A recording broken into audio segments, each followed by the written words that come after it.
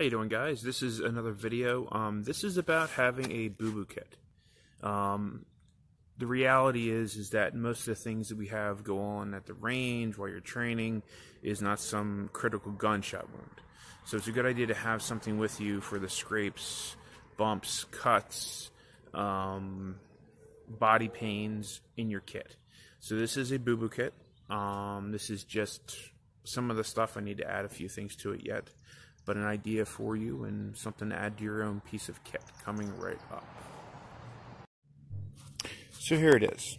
Um, basically, what I'm using is one of SOE's free pouches. Um, the Velcro is closed. Uh, it's a decent size. Uh, I'm not really sure how big it is. Maybe four by four, something like that. Um, it fits a decent amount of stuff. I mean, it's not something that I'm going to jam full. And basically, I am just putting in there different size band-aids, um, larger ones, smaller ones. Also going to be putting um, some Tylenol. I also have some ibuprofen, things like that in there. Um, prep pads if there's a really nasty gash or cut. Um, also, there's also going to be some uh, betadine patches, swabs, um, because what you can actually do with those is if you have a deep wound, you can fill this with water, put the betadine patch in it, and then cut a small hole and use that to flush the wound out. And that would be like an antiseptic flush. Um, also, some butterfly closures, and then just some basic um, non-stick pads, different sizes. I'm probably going to also add in there um, some 4x4s, some 6x9s, just to have it. And the idea with this would be is a lot of plate carriers have an admin area in the front.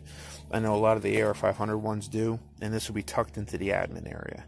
On my carrier, it's basically a velcroed um, flat pouch that's that's right below the top of the carrier, um, and that's where this is going to sit. So if I need to, I can just yank it out. And the idea, like I said, it's, this isn't trying to stop some critical bleed. This is there for the majority of what you get as far as cuts and things when you're training it when you're training when you're at the range you know whatever the case may be. And it's and i have these also in different bags um, different configurations different little pouches for them. Um, but this one should work really well for the plate carrier. So anyway um, hope that gives you some ideas. Uh, if you have any questions, um, feel free to uh, post below. Um, also, if you like the video and you think it deserves it, give it a like and give it a subscribe as well. We appreciate it. And have a good day.